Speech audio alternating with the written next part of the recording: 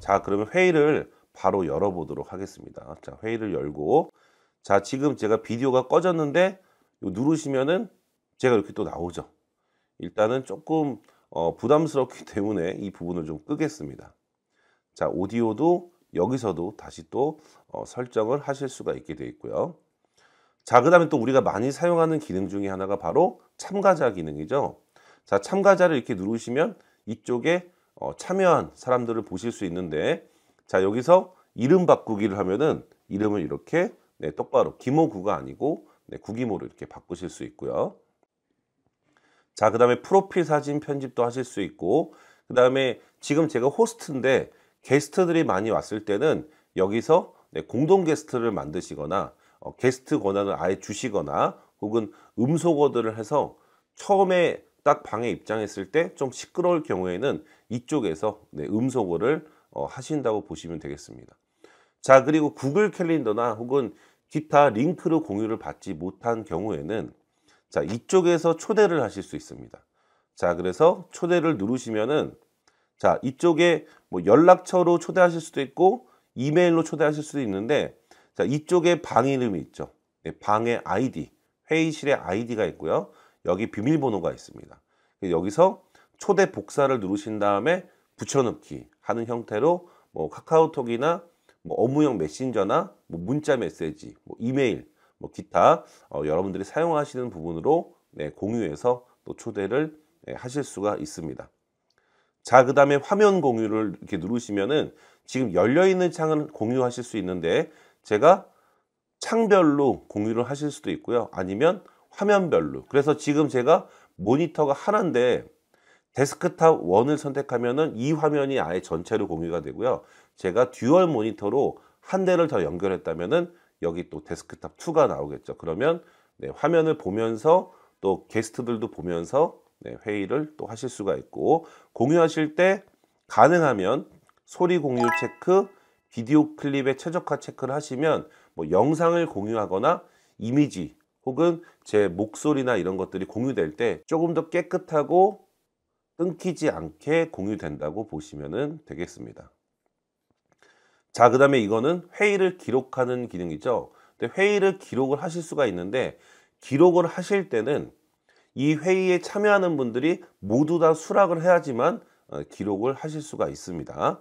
만약에 수락을 하지 않는 분들은 바로 참여가 안 되고 바로 회의실에 나가게 되고요. 자, 그 다음에 소회의실 같은 경우는 이제 조별로 어떤 뭐 따로 토론을 한 거나 혹은 뭐 부서별로 따로 토론을 할때 네, 그때 회의실 설정을 하고 거기에 이제 할당을 하실 수 있는데 이거는 이제 호스트가 어, 이 부분들을 처리할 수가 있게 되어 있고요. 호스트들은 각 회의실에 들어가서 그 작은 소회의실에 들어가서 이쪽에서 얘기를 나누고 그러면은 다른 회의실에선 들리지 않겠죠. 네. 그래서 조금 부서를 나누고 어, 잠깐 잠깐 회의를 하거나 혹은 교육 같은 경우, 경우에는 또 조별로 분반이 나누어져 있을 때 사용하는데 혹시 이런 줌이나 이런 관련된 어, 부분들에 대해서 어, 잘 사용하지 못하시는 분들이 많이 계시거나 혹은 회의 시간이 굉장히 짧을 때 교육 시간이 굉장히 짧을 때는 오히려 회의실을 이용하는 게 시간을 좀 지체하는 어, 부분이 발생할 수 있기 때문에 그 부분들은 어, 여러분 상황에 맞게 네, 잘 사용을 해주시면 네, 좋을 것 같습니다. 자, 그다음에 뭐 반응 같은 경우는 뭐 손들기 뭐 그런 부분들 뭐 최고 좋아요 뭐 이런 것들이겠죠. 네, 그다음에 관련된 앱 그리고 화이트보드 같은 거 누르시면은 화이트보드를 열어서 여기다가 뭐 메모를 하면서 네, 회의를 할 수 있는 네, 그런 어, 기능이 이쪽에 있다고 보시면 되겠습니다. 그래서 회의를 하시다가 잠깐 쉬시게 되면 꼭 여러분들 잊지 마셔야 될 게 이렇게 음소거 그리고 비디오 정지를 꼭 하셔야 됩니다. 이게 또 어떻게 보면은 이게 사무실에서 근무하실 때는 크게 문제가 되지 않겠지만 또 원격으로 네, 재택이나 혹은 개인적인 공간에서 이렇게 화상으로 어떤 회의를 하실 때는 또 쉴 때는 이걸 또 꺼놓으시는 게 어, 사생활 침해를 하지 않는 네, 부분이 될 수도 있기 때문에 이 부분도 여러분들 꼭 기억하시길 바라겠습니다. 자, 그 다음에는 이쪽에 보시면 이제 보기라는 게 있죠. 자, 이 보기를 누르시면은 발표자, 그 다음에 갤러리, 자, 그리고 몰입형. 지금은 제가, 어, 혼자 여기에 어, 접속이 돼 있기 때문에 이렇게 나오는데요. 자, 여기서 발표자, 그러니까 중요한 발표를 하는 분을 어, 중심으로 놔두고 이제 참여하시는 분들이 뭐 좀 작게 보이는 화면을 원하신다면은 발표자를 네, 선택하시면 되겠고요. 그다음에 인원이 정말 많은 경우에는 또 갤러리로 보는 게 편하겠죠.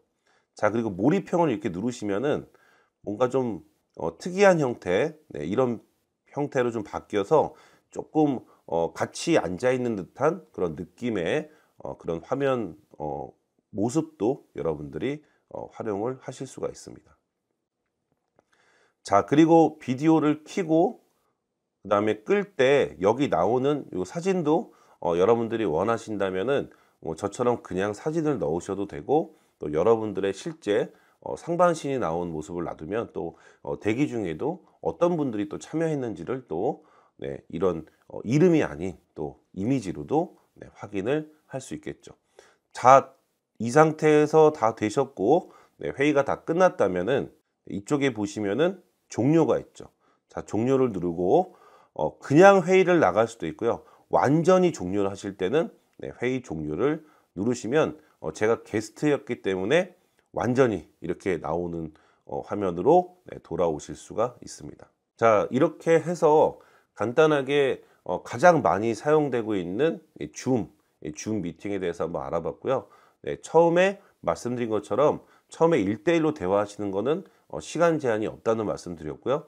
네, 두명 초과가 됐을 때는 40분까지 네, 사용을 하실 수 있고 어, 그걸 넘어가는 네, 상태에서는 이제 유료로 네, 이 요금제를 쓰셔야 되는데 중요한 것은 모든 사람이 다 쓰는 게 아니고요. 딱 이 회의를 주관하는 호스트만 네, 유료 계정을 쓰시면 되기 때문에 네, 그 부분도 어, 여러분들 꼭 기억하시고 여러분 업무에 여러분의 어떤 원격으로 하는 회의나 이런 부분에 많은 네, 도움이 되셨으면 좋겠습니다.